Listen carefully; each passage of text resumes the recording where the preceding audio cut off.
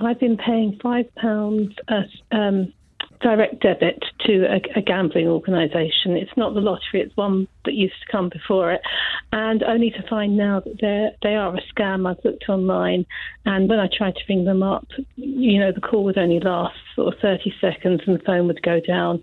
And I never, when I tried to look for my numbers, I couldn't find them. And I was trying to check against them.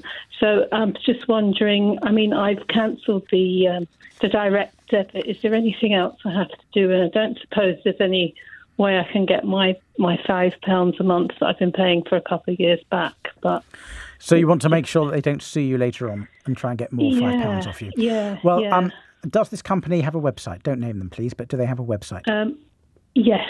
Right. Is there a contact? Is is there an email address or a web form on that website? Yeah, yeah. Okay, send them an email or use the web form to send them a message saying I am I've cancelled my direct debit and I'm giving notice to finish my monthly subscription of five pounds a month. Make sure you keep a screenshot of that web form, and that way you can prove it was sent. Uh, and if you have if it's by email, just make sure you keep that email. And if in three years' time, uh, in the highly unlikely event they turn around to you and say you owe us three years worth of five pounds a month, what would that be? Hundred and eighty pounds. You've got the proof that you cancelled it.